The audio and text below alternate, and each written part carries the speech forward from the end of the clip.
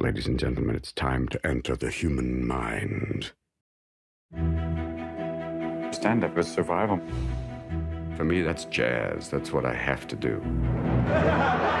Robin was like nothing I'd ever seen. He stood out in a way that nobody else did. I don't tell jokes. I just use characters as a vehicle for me. Esmeralda, why do you only visit on certain days? On stage, he was the master. If you look at a platypus, I think you might think that God might be stoned. The God's up there in heaven going, okay, let's take a beaver. Let's put on a duck's bill, okay? He was really comfortable on stage. Off stage, I just felt he was holding himself together. Early in life, did you have a fear of abandonment? Oh, yeah. It's a primal fear for any child. And it dictates a lot of how you deal with life. He was always looking for connection.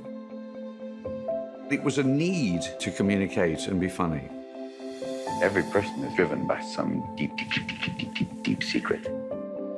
Robin was doing drugs. There was fear sometimes to run away from it all, sometimes to run into it all. There you are. You become a reformed alcoholic. You've got a steaming glass of Perrier going, I feel so much better about myself. My father didn't always feel he was succeeding, but he was the most successful person I know.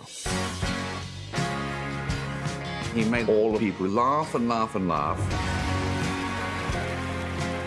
He called me, leaving messages on my phone. It's, it's Robin. I'm giving you love. Bye. It's a tie with three people. Yeah. Pretty much said you, Robin. Come on now. You only give him a little spark of madness.